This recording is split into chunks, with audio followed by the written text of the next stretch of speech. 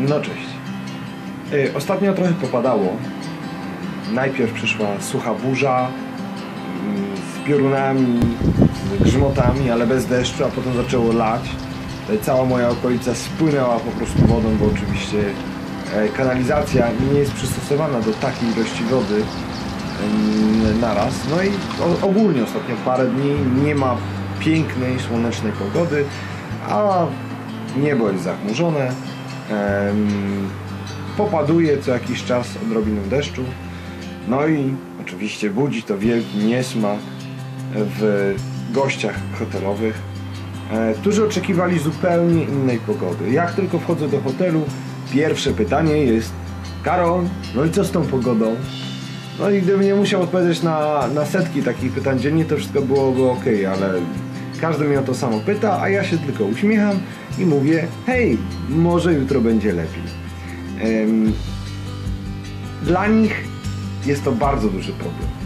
Jest to bardzo duży problem, bo oni przyjeżdżając na Kanary oczekiwali, że będzie tutaj piękna pogoda i w momencie, kiedy tej pięknej pogody nie ma, rzeczywistość nie zgadza się z tymi ich wymarzonymi wakacjami, które mają w głowie i przeżywają traumę. I w tym momencie ich wypoczynek się kończy. Zamiast wypoczywać, cieszyć się tym, co oferuje hotel, okolicą, e, wolnym czasem, e, oni przeżywają zgryzoty. Oj, bo pada. Oj, bo zła pogoda.